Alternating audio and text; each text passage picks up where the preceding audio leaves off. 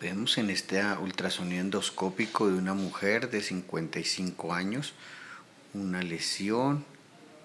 de aspecto quístico donde vemos básicamente áreas anecoicas con algunos septos y macroquistes, muy sugestivo de un tumor mucinoso en la cabeza del páncreas.